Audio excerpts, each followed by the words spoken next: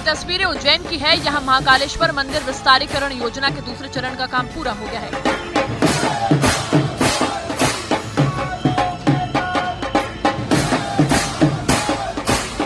मध्य प्रदेश के मुख्यमंत्री शिवराज सिंह चौहान ने इसका उद्घाटन किया। योजना के दूसरे चरण में 242 करोड़ रुपए खर्च किए गए हैं।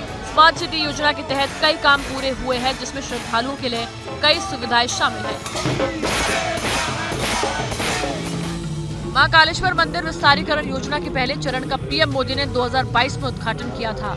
अब दूसरे चरण का काम पूरा हो गया है और पूरा परिसर एकदम अलग नज़र आ रहा है। इसके ज़रिए नीलकंठ क्षेत्र में विकास किए गए हैं, जबकि मंदिर परिसर में शक्ति पथ अन्य क्षेत्र, महाराजवाड़ा परिसर रुद्र सागर का विकास किया गया है। इसी तरह सबसे महत्वपूर्ण महाकालेश्वर शिखर दर्शन की सुविधा भी उपलब्ध कराई गई है, ताकि मंदिर आने वाले भक्तों को शिखर दर्शन भी हो सके।